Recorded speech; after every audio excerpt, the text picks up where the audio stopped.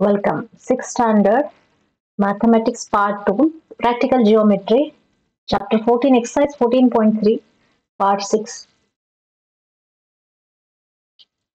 Draw any line segment PQ without measuring PQ. Construct a copy of PQ. This is your sum now. See here.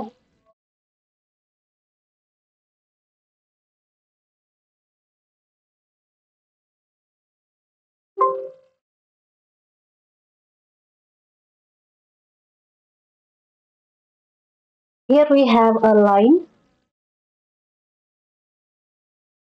PQ. We don't know the length of this because with the help of the ruler we didn't measure it. Without measuring PQ, we are taking exactly the same length with the help of the compass. And we're cutting this line. Draw one more line and cut this line like this and mark AB here. Your sum is ready. Second sum. Give some line segment. Given AB is there, choose the length you do not know. AB's length you don't know how, how much it is. Construct the PQ such that length of PQ is twice that of the AB.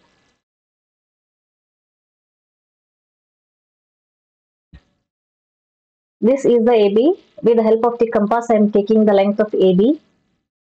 Draw one more line with the help of the scale without knowing any length. Cut this line here and keep your needle at cutting point. Again cut the line. It is twice that of the AB. PQ is twice that of the length of the AB. This is how you have to draw.